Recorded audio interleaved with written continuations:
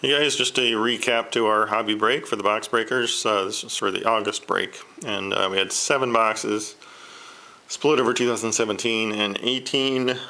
Kind of a rough break, I will admit, but um, here's just the hits. I've obviously got a number of inserts and rookies and stuff going on as well, but the hits Haason Reddick for the Cardinals, uh, Raekwon McMillan, number to 99 for the Dolphins. Malachi Dupre, number to 50, and Demarcus Walker for the Broncos, number to 35. We had um, Phoenix, Juju uh, Smith Schuster, jersey for the uh, Steelers, number to 49. Had, had a one of one uh, plate for Budda Baker. Uh, had a Corey Davis rookie auto jersey um, redemption, and then a nice uh, Alvin Kamara auto relic number to 299 limited we had a Perine uh, patch number to 25 had a Mack Hollins rookie patch auto redemption.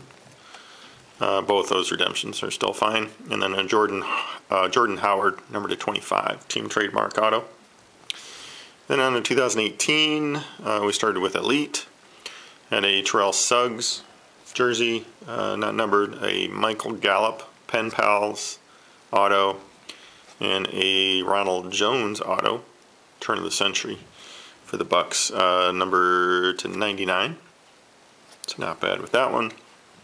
Certified, a um, Nyheim Hines jersey for the Colts.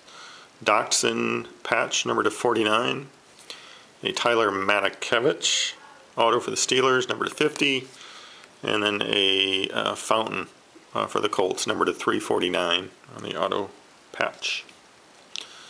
From Elements, we had a Bradley Chubb jersey to 99, a uh, Mark Walton auto for the Bengals to 350, and then a Jim Zorn for the Seahawks uh, inscribed number to 199.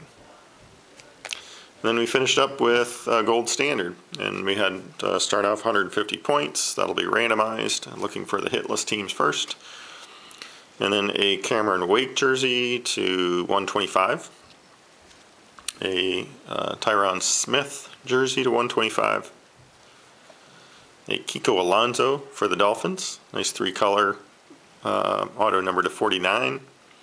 And the final hit, semi saved us, Sam Darnold number 299 auto jersey.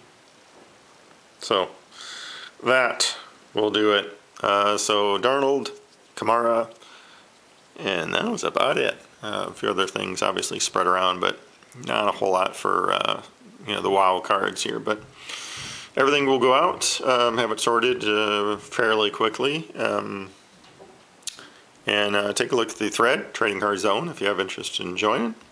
Um, but uh, appreciate the participation as always. Again, we alternate months, so next month it's the case breakers doing a case, uh, and then we'll be back with a hobby break in October. So thanks, guys.